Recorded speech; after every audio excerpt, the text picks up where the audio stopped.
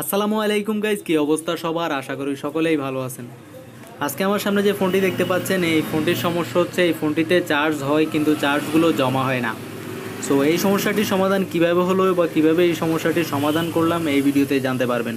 So ভিডিওটি শেষ পর্যন্ত দেখতে থাকুন, চলুন শুরু করা যাক আমাদের আজকের এই ভিডিও কি বলব ভাই, দুঃখের কথা। ফোনটা কাজ কমপ্লিট করলাম, কাজ কমপ্লিট করার পর কাস্টমারকে ফোনটা দিয়ে দিলাম, তারপর দেখলাম যে আসলে ভিডিওই করে নেই আমি। ক্যামেরা অন করে, ক্যামেরা স্টার্ট না দিয়ে ভিডিও করতেছিলাম।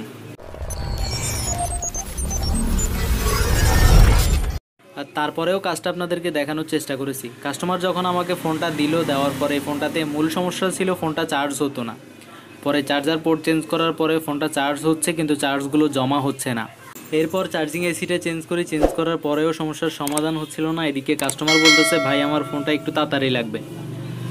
পরে এই শর্টকাটটি আমি ব্যবহার করলাম। আপনারাও এই শর্টকাটটি ব্যবহার করতে পারেন। আগে যদি কাস্টমার দেখেন সময় দেয় কিনা, সময় দিলে আপনি আগের মতো আইসি চেঞ্জ করে বা অন্যান্য ডায়োড চেক করে কমপ্লিট হান্ড্রেড পার্সেন্ট আগের মতো করে দেওয়ার চেষ্টা করবেন। আর তারপরেও না হলে এই স্টিপটি আপনি ফলো করতে পারেন।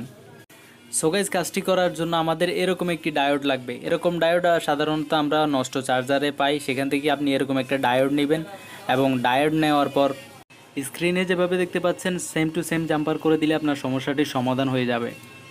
আর আরেকটি কথা অবশ্যই খেয়াল রাখবেন, যে ডায়োডটি আমরা লাগাচ্ছি, সেই ডায়োডের কালো অংশটি অবশ্যই ব্যাটারি কানেক্টরের প্লাস অংশে লাগাবেন। আর অপোজিটটা চার্জিং পোর্টের প্লাসের লাইনে লাগাবেন।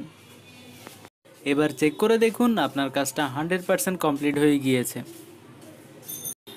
সবাই আজ এ পর্যন্তই। ভিডিওটি ভালো লাগলে লাইক করবেন, বন্ধুদের সাথে শেয়ার করবেন অ্যান্ড অবশ্যই আমাদের চ্যানেলটি সাবস্ক্রাইব করে পাশাকে বেলাইকনে ক্লিক করে রাখবেন। পরবর্তী আপডেট সবার আগে পাওয়ার জন্য।